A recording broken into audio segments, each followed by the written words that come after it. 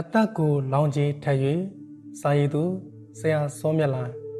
ဟိုးအရင်ချိန်အင်္ဂလိပ်လက်ထက်ကဖောက်လုပ်ခဲ့သည့်တထုဒွေအောင်တစ်ခုအနားကိုတောလည်ရင်ဖြင့်အမတ်မထင်ရောက်ဖြစ်သွားကြတယ်တထုဒွေအောင်စိုးသည့်တိုင်းပဲကြောက်အကျော်အဖြူတုံးကြီးတွေကျွန်တော်တို့ခေါ်တာကတော့ဝက်စီဘတ်သုံးလို့ခေါ်တာလုံးဝဝက်စီဘတ်အတုံးတိုင်းပဲဝှေ့ဆိုကြနေတာတချို့ဆိုအကျော်ကောင်းသည့်ကြောက်သုံးတွေဆိုရင်ဂဲဆွဲတွေကိုအထင်းသားပေါ်နေပြန်သေးတယ် တထုတွင်အလုပ်ကိုလောက်ခိုင်ဘူးသူဆိုတော့ဂဲဆွဲလာတာလေးမြင်ရင်စိတ်ကထိမရပြန်ဘူးအမဲလာရင်အဆောင်ထားသည့်ဓာလီတလက်ကိုဖြုတ်ကဂဲဆွဲကောင်းတာလေးကိုခေါ်ယူခွာယူမိပြန်သေးတယ်။သုံးယောက်သားဂဲဆွဲလှတာလေးတွေကိုခွာယူပြီးဂူအတွင်းတို့ဝင်ကြည့်ရန်တိုင်ပင်လိုက်တော့တယ်။ဂူအတွင်းဝင်တာကတော့ဟုတ်ပါပြီ။ဘာတွေများရှိလို့လဲ။ကျွန်တော်ကိုကိုမဲနဲ့အကျူးလေးတို့ကဗျိုင်လူမေးလိုက်ကြတယ်။ဟာရှိတာပေါ့ဗျာ။ အရင်တုန်းကဆိုဖြူကြီးဖြူခကြီးဝန်အစရှိတဲ့ဒီလန်ကူတွင်းကနေရခဲ့ဘူးသားအဲ့ဒါကြောင့်ခမားတို့ကိုခေါ်နေတာပေါ့လာပါဗျာဘူဝကိုတားအောင်ခြေရာချောင်းကိုအကဲခတ်ကြည့်အောင်ထို့သို့ဆိုကအရင်ဦးစွာလေ့လာကြည့်လိုက်တယ်လိုင်ကူဝါနာရောက်တော့အနှဲငယ်ပြိုချပြီးပိန်နေပြန်တယ်လိုင်ကူဝပြိုချထားသည့်မြေစာတစ်ကိုမြင်ရပြန်တော့သုံးယောက်သားအားရခြေနှက်ဖွယ်ကိုတွေ့ရပြန်တယ်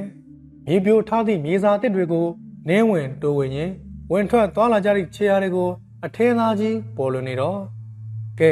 ကိုမင်းနဲ့မောင်ကျူငါမပြောဘူးလားတခုခုတကောင်ကောင်တော့ရှိလောက်ပါတယ်ဆိုတော့ယုံပြီလားခြေရာတွေကတတ်တယ်ပဲဤကဲ့သို့ဆိုကလူဝင်နှံအောင်ဂူဝကိုချက်တွင်ရက်ထုတ်လိုက်ကြတယ်ကြောက်ကူဆိုတော့မြေစာပြိုကျတာတွေကိုခဏတာလောက်ပဲဖဲထုတ်ရှင်းလင်းလိုက်ရတယ်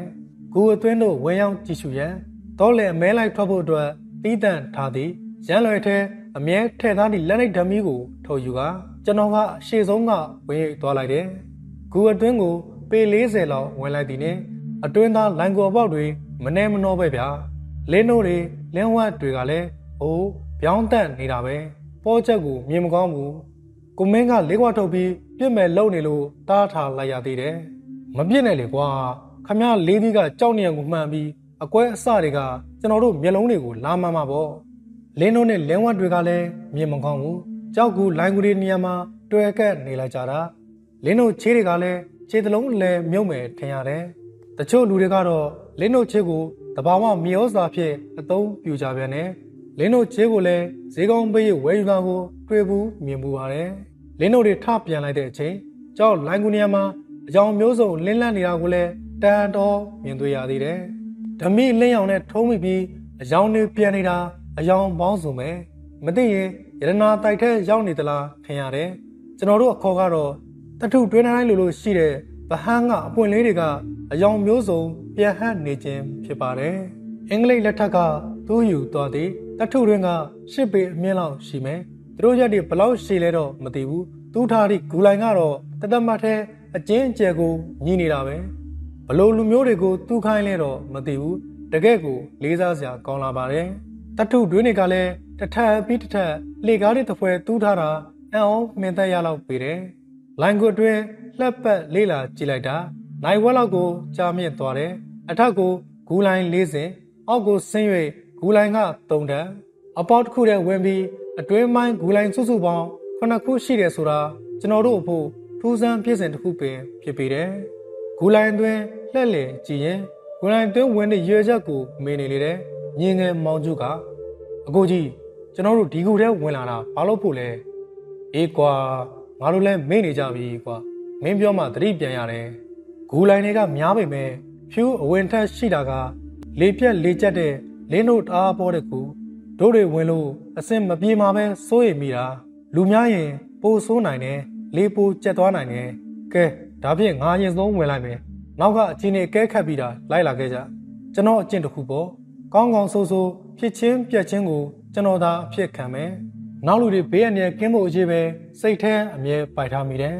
ဂူလိုင်ဝကိုစစဝင်လိုက်တာနဲ့စိမ့်ရွှေရွှေအနံပြင်းပြင်းကြီးကိုနှာခေါင်းဝကိုမခံစားနိုင်အောင်စိုးစိုးဝါးဝါးကြီးနဲ့အသက်ရှူရတာမလွယ်ကူပဲအသက်ရှူကျက်လာပြီးအောင်တက်တက်ကြီးဖြစ်လာကရှေ့တိုးရမလို့နောက်ဆိုးရမလို့ကြီးဖြစ်နေတော့တယ်ဟာဒီတိုင်းဆိုတော့မဟုတ်သေးဘူးနီလန်းတစ်ခုတော့ရှိရမယ် နောက်ရင်းကိုပြန်ဆုပ်လိုက်ပြီးသုံးယောက်တာခဏထိုင်ပြီးခေါင်းချင်းဆိုင်ကတိုင်ပင်ကြလေတယ်ထိုချိန်ကိုမင်းကအကြံတစ်ခုပေးတယ်တစ်ကိုင်းတရွက်တွေကိုခူးပြီးရက်တောင်ခတ်တယ်လို့ခတ်ပြီးဝင်မယ်ဆိုရင်အဆင်ပြေတော့လားမပြောတတ်ဘူးလေကွာလေးကပြက်နေတာဆိုတော့ရက်ခက်လဲမရတော့ဘူးထင်တယ်နော်နေပါအောင်ဗျာအဲ့ထက်ကောင်းတဲ့ဤတစ်ခုတော့စဉ်းစားမိမှာပါညင်ငယ်မောင်ကျူကကိုကြီးညီလေးအကြံတစ်ခုလောက်ပေးကြည့်မယ်လေအေးပြောကွာပါလဲဒီလိုဗျာ ဂူလိုင်းမြင်ကိုထွက်ပြီးဝါဆဝအရှိကြီးတွေကိုခုတ်မယ်ပြီးရင်ပိုက်ဆက်တယ်လို့ဆက်လိုက်မယ်အဲ့လိုလုပ်လိုက်မှဆိုရင်လေရှူလို့ရနိုင်တယ်အေးအဲ့ဒါလည်းဟုတ်သားပဲဒါပေမဲ့အချိန်ကအကြာကြီးပေးရမှာလွယ်တော့မလွယ်ဘူးကွာထို့သောပြောဆိုကနောက်တစ်မျိုးကိုထပ်မံစဉ်းစားရပြန်တယ်အရင်ကငါဝင်မှုတယ်ဒီလောက်မစိုးဘူးကွာအခုမှဘလို့ဖြစ်ရတာလည်းမသိဘူးကျွန်တော်မှတ်မိပြီအရင်တစ်ခါဝင်တော့ကအမောပြောင်အနားယူပြီးအသက်ကိုပုံမှန်ပဲရှူဆိုင်ရင် အေးစစ်စစ်ဝင်သွားတာခမရတို့ဘေးပဲနေဗျာကျွန်တော်အဲ့ဒီအတိုင်းစမ်းကြည့်မယ်ကဲအမောလဲပြေပြီပေးကွာမင်းစီကရေဘူးငါဒီဒီချိန်ထပ်ပြီးစမ်းကြည့်ုံပဲရမရတော့မပြောတတ်ဘူးကွာငါထင်တော့အစင်ပြေမယ်လို့ယုံကြည်မိတာတော့အမှန်ပဲအဲ့ဒါဆိုတော့လေအသေးချာဂယူးဆိုင်ပြီးတော့လုံတော့ငါညီကိုမင်းကသတိတွေပေးနေပြန်တယ်ဟုတ်ကဲ့ကိုစိတ်သာချပါစင်မပြေကျွန်တော်အပြေးထွက်ခဲ့မယ်ဤကဲ့သို့ပြောပြီးလေဖြက်လေးချက်သည့်ဂူလိုင်းအတွင်း ထပ်မရီနောက်တစ်ခါဝင်ရန်စူးစမ်းကဝင်ကြည့်လိုက်မိပြန်တယ်အခုတစ်ခါဝင်ကြည့်တာတော့အရင်တစ်ခါလောက်တိတ်ပြီးအခြေအနေမဆိုးဘူးဘလို့လဲဆိုတော့အသက်ကိုပုံမှန်လေးဖြင်းချင်းစွာရှူရှိုက်တယ်လမ်းသွားတာကိုလည်းဖြည်းဖြည်းချင်းချင်းပဲသွားတယ်ပထမတစ်ခါဝင်တော့ကဒုံဆိုင်ကြီးအပြေးဝင်သွားတာဆိုတော့ငကိုကလေးကားကျက်လေးပြတ်ပါတယ်ဆိုမှအလော်ကြီးဆိုတော့လေးတလောက်လေးရှူရှိုက်ဖို့အတွက်လေးမလုံလောက်တဲ့အတွက်ပင်ဖြစ်နိုင်တယ်ဂူလိုင်းတွင်းကိုပေ20လောက်လဲကြုံဝင်သွားတော့ လေးကထင်းတလောက်ကြီးမပြတ်မကျက်တော့ဘူးအဝင်ဝါလေးသာလေးပြက်လေးကျက်တာအနောက်ကကြံကတ်သည့်အကုန်နဲ့ညီဖြစ်သူကိုအစင်ပြေတဲ့ဟိတ်ဘာမှမပူနဲ့အထက်ရောက်တော့လေးကပုံမှန်ဖြစ်သွားတယ်စိတ်မပူချားနဲ့ထိုးကဲ့သို့လန်အောင်ပြောလိုက်တယ်အေးအေးမင်းစင်ပြေပြီးတာပဲကျွန်တော်လဲဂူလိုင်းအတွင်းအသေးချာလှည့်ပတ်ကြည့်လိုက်တော့ဖြူကြီးအဝင်ထွက်များတဲ့ဂလိုင်းတစ်ခုကိုလန်ထွေးလိုက်ရတယ်ဖြူအကောင်ရှင်းမရှိဂလိုင်းပေါင်သားကိုအသေးချာသွားကြည့်လိုက်တော့ ဂလိုင်းပေါင်အတွင်းငယ်ကဖြူကြီးသည်နှောင်မုတ်တန်အော်ဒန်တို့နဲ့သူနှကမ်းမိုးကြီးစုံမစုံမနဲ့စူးတော်ကြီးတကားကားဖြင့်အတိုင်းနာမြင်တွေ့နေရပြန်တယ်ဖြူကောင်ကိုမြင်တွေ့လိုက်ရသည်နဲ့အနောက်ကိုအသာဆုပ်ကဂူလိုင်းပြင်ကိုပြန်ထွက်လာလိုက်တယ်ကိုမင်းနဲ့မောင်ကျူဖြူကြီးတကောင်တော့တွေးခဲ့တယ်တို့တွေဘလို့လောက်ယူမလဲမောင်ကျူကသူမိတနက်ကိုကျွန်တော်ကိုကန်ပေးလိုက်တယ်ဟာဘာလို့ရမှာလဲတနက်ကကျွန်တော်ကမေးတော့ရော တနက်ပါဆိုကိုကြီးကလည်းပြစ်ဖို့လေဗျာဖြူကြီးကိုတနက်နဲ့ပြစ်တက်လိုက်ရင်ပြီးတာပဲကိုမဟုတ်ဘူးလားဩအေးအေးမှတ်သားတော့ပါပြီတဲ့မင်းချီအောင်တော့ပိုင်ရှင်မောင်ကျူရဲ့ထိုကဲ့သို့ပြောကငေါ့ပြလိုက်မိတယ်ကိုကြီးကဘာဖြစ်လို့ကျွန်တော်ကိုငေါ့ရတာလဲကျွန်တော်ကြံပေးတာအကောင်းလေအေးအေးနေအောင်ခဏငါပြမယ်ကိုမင်းခမရအတန်ကကောင်းတယ်တစ်ချက်လောက်ပြင်းပြင်းလေးအော်ကြည့်စမ်းပါဤတို့ပြောကအတန်ကုန်အော်ခိုင်းလိုက်တယ်ကိုမင်းကလည်းဘူးမသိဘာမသိနဲ့အတန်ကုန်အော်တာပေါ့ ကဲဘလို့နေလဲမောင်ကျူနားရဲစူပြီးနစီကွမ်မတ်ခန်းစားရတယ်ဂူလိုင်းအတွင်းလဲပဲ့တင်ထက်ကုန်တာပဲအေးအဲ့ဒါပြောတာပဲမင်းကဒါနမူနာလောက်ပဲပြသေးတာအဲ့ဒါလူတော်တန်မဲ့ရှိသေးတယ်သူမိတနက်ပြစ်တဲ့အတန်မဟုတ်သေးဘူးတွေ့တယ်မို့လားသူမိတနက်ဆိုရင်တော့ရန်ကိုရန်ငွေတွေကြောင့်အသက်ရှူကျက်မယ်တနက်အတန်ကြောင့်နစီတွေကွဲမယ်နောက်ဆုံးကလူရဲ့အသက်အန္တရာယ်ကိုပါထိခိုက်နိုင်တယ်ဟုတ်တယ်နော်ညီလေး အေးဗျာကျွန်တော်ဒီတစ်ခါတော့ညံ့သွားတယ်သူစကားကိုပြန်ယုံသိန်းကဒါဆိုဘယ်လိုလုပ်မှလဲကိုကြီးကဲအကြီးဆုံးဖြစ်တဲ့ကိုမဲဂူပြင်းတို့ပြန်ထွက်ပြီးဝါနွယ်ဝါအတိုးလေးနှလုံးလောက်ကိုတကိုင်းသားသားတဘိုးတော့လောက်လေးခုတ်ယူခဲ့ဗျာနောက်ပြီးခုနှစ်ပေလောက်ဝါဖျားလေးပါခုတ်ယူခဲ့အေးအေးဤတို့ဆိုပြီးဂူလိုင်းအပြင်ကိုတုတ်ချီတင်ကပြေးထွက်သွားလိုက်တယ်10မိနစ်ကြာတော့ဝစစ်တို့နှလုံးနဲ့ဝါဖျားအရှိတစ်ခုကိုကင်ကပြန်ဝင်လာတယ် ကဲဒိုရာလည်းရပြီဆိုတော့လိုက်မယ်ဆိုရင်တော့စိတ်မလောနဲ့နော်ဖြည်းဖြည်းမှန်မှန်နဲ့အသက်ရှူလမ်းကိုပုံမှန်လျှောက်စိတ်ကိုအတက်နိုင်ဆုံးလျှော့အေးပါကွာမဲစကားနားထောင်တဲ့အကူပါကွာဤကဲ့သို့ကျွန်တော်ကိုပြန်ငေါ့၍နေတယ်ညီကိုနှစ်ယောက်ပုံမှန်လေးဝင်သွားလိုက်ကြပြီဖြူကြီးရှိရာဂလိုင်းပေါင်လေးအနားသို့ရောက်တာနဲ့ဤကဲ့သို့ပြောပြီးဒုတ်ရှည်ကိုတောင်းယူပြီးဖြူကြီးထွက်လာအောင်အရှိတစ်ချောင်းနဲ့ထိုးဆွာလိုက်လေတယ်ဖြူကြီးကလည်းပေကက်ကက်ရဲ့ တော်တော်နဲ့မထွက်ဘူးဇူးတော်နေကားကားပြီးရံမှုနေပြန်တယ်ကဲအဲ့လောက်မှပြစ်နေတာဝါဖျားကိုအချုံကလေးလှုပ်ပြီးစောင့်ထိုးပြလိုက်တော့ဂူးရှူးရှူးနဲ့အပြင်ကိုပြေးထွက်လာတယ်ညီကိုနှစ်ယောက်လည်းဘာလို့ရမှန်းမသိကကြောင်စီစီငေးကြည့်နေမိတယ်ဖြူကြီးကညီကိုနှစ်ယောက်ကြောင်စီစီငေးကြည့်တာကိုအခွင့်ကောင်းယူပြီးအပြင်ကိုအကျန်းပြေးထွက်လေတယ်အကျူးလေးဟာကောင်ဖြူကြီးပြေးထွက်လာပြီဟာကြည့်ကြလို့ဤကဲသို့လှမ်းအောင်ပြောလိုက်တယ်ထိုကဲတော့ပြောလိုက်တော့လဲ ဘလို့လို့ရမှန်းမသိဘူးဖြူကြီးကကျွန်တော်ဘက်ကိုပြန်ပြေးလာပြီးသူ့ဂလိုင်းပေါက်ထဲအပြေးဝင်မဲ့အလုံးကိုမင်းကတုတ်ဖြစ်ပေးရလိုက်တာကတဲ့ကတဲ့အော်ပြီးအပြေးဝင်သွားပြန်တယ်ဟာဗျာဖြူကိုအဲ့လိုရိုက်လို့မရဘူးလေကိုကြီးရဲ့အပေါ်စည်းကနေရိုက်လို့တော့မသေးနိုင်ဘူးသူစူးတော်တွေကိုထိပြီးအတွင်းထိုင်ရမရစေဘူးတည်ဘူးလေကွာငါကလည်းကြောင်ရိုက်တယ်လို့ပဲရိုက်လိုက်တာနောက်တစ်ခါအဲ့လိုမရိုက်တော့ဘူးကဲဘလို့ရိုက်ရမလဲမင်းပြောပြအဲ့လိုရိုက်မယ် ညီဖြစ်သူဖြူရိုက်နီးပြန်တဲ့ခိုင်းနေပြန်တယ်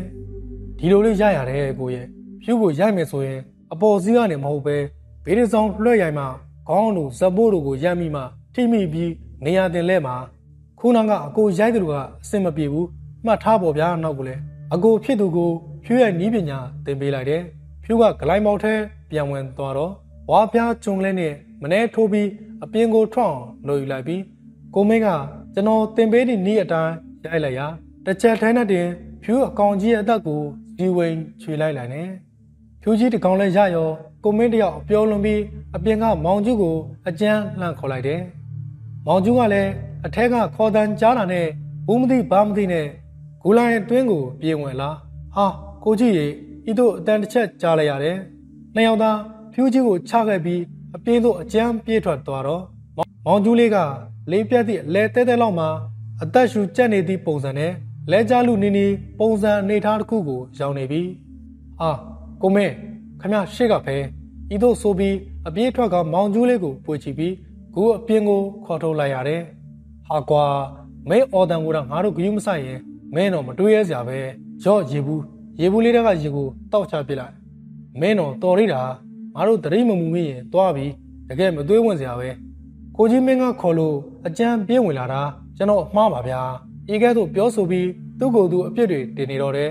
အေးကွာဖြစ်တတ်ပါတယ်နောက်ဆိုတတိထားပေါ့ငါတို့ကအခုလေးပြက်လေးကျက်တဲ့နေရာဆိုတာကိုရိုးနေပြီမင်းကအခုမှအစရှိသေးတာဆိုတော့ကံကောင်းလို့ပေါ့ကွာဟုတ်ကဲ့ကိုကြီးဆိုပြီးပြိုကျထားတဲ့မြေစာပုံကိုကြောခင်းကပြစ်လဲချလိုက်ပြီးအနားပြန်ယူနေတော့တယ်သူ့ကိုကြည့်လိုက်တော့လဲမလုံနိုင်မကင်နိုင်တော့ဒီပုံစံကိုလုံးလုံးကြီးပေါက်သွားတဲ့ဖြင့်သူအနားယူရင်ယူပါစေဆိုပြီးထားထားပေးလိုက်တော့တယ် ဂူလိုင်တွင်ကြံခဲ့သည့်ကိုမင်းနဲ့ဖြူးကောင်ကိုယူရင်ခေါ်ဖို့အတွင်းထဲကိုပြန်ဝင်လိုက်တယ်ဖြူးကြီးတကောင်ကလည်းတကောင်လုံးဆိုရင်အနည်းဆုံးရှစ်ပိတ်တာမရောလောက်ဘူးထင်တယ်ဖြူးကြီးကိုအပြင်ရောက်တာနဲ့ဖြူးကြီးစီကအစူးကျန်းတွေကိုတနောက်နဲ့ထုချပစ်လိုက်ပြီးဇူးအငယ်တွေကိုနှုတ်နိုင်နေများနှုတ်ယူပစ်လိုက်တယ်။ဘာပိုးရင်လူတွေကိုမစူးစေရန်အတွက်အခုလိုစူးချမ်းတွေကိုနှုတ်ချထုချပစ်လိုက်ခြင်းပဲဖြစ်ပါတယ်။ဖြူးကြီးကိုကိုမင်းကိုပါပိုးစေပြီးကျွန်တော်ကတနက်နဲ့ ဒီနေ့ဖို့တော့တောဆက်လဲနိုင်ဖို့အတွက်မဖြစ်ချေဘူး။ဘာလို့လဲဆိုညီမောင်ငကျိုးအတွက်ငဲ့ပြီးတော့အိမ်ပြန်လန်းတွေးသည့်တားကောင်ကိုပဲပြက်ကတ်နိုင်ရလန်းကိုရွေပြီးပြန်လာခဲ့ပါတော့တယ်။စာရေးသူဆရာစောမြတ်လိုင်အားလေးစားလျက်ယခုတင်ဆက်ပေးနေတဲ့တောရဲမုတ်ဆိုးဇလန်လေးကတော့ဒီမှာပဲအဆုံးသတ်သွားပါပြီ။နားဆင်သူများအားလုံးသိချမ်းသာခြင်းကိုယ်ကြီးကျမ်းမာခြင်းနဲ့ပြည့်စုံကြပါစေခင်ဗျာ။